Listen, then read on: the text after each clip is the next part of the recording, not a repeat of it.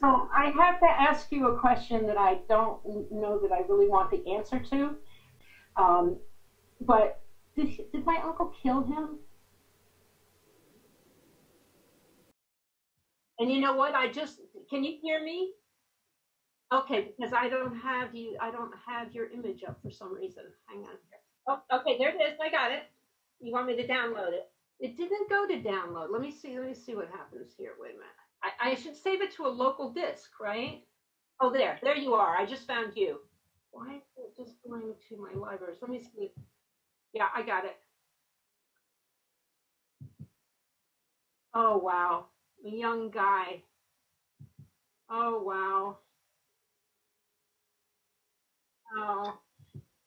I mean, he looks exactly like Uncle Bud, but they're just two different races, you know? I mean, that's really hard to deal with. And that's and that's the daughter that I sent it to. Oh, I want to cry. Oh wow. But she looks just like me. Oh, look at her. Bless her heart. I'm so glad we did this. I can't tell you how glad I am. Okay. I'm going to download this one. Let's see what happens with that. Okay. You were hidden behind something else. Oh, it looks like something's happening on my end. Okay, here it is. Oh, Photo from Japan. Okay. Yeah, I got it. Oh, wow. I'm reading it right now. Dear Mrs. Dione Blazing, I have unexpectedly received the flag of my father, Noriatsu Yamaguchi, by virtue of your thoughtful offer and support by Obon Society. Thank you very much. This year marks 75th anniversary after the war ended and was also my father's 110th birthday. I felt this proved his strong desire to come home because his flag returned home just before his birthday, October the 26th.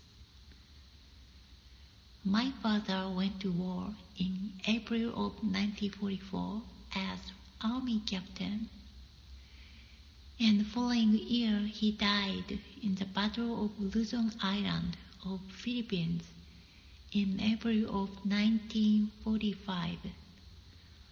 I was nine years old at the time, and fortunately I could remember his voice and figure. However, my mother and his brothers, as well as his parents, all passed away. Now I am the only person who keeps my father's memory. I think it was very lucky your uncle Mr. Neil Bud found my father's flag in the middle of war and brought it to Michigan.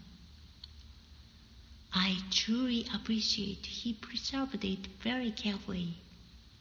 The flag has little stain or damage, even though it must have been carried through the battlefield.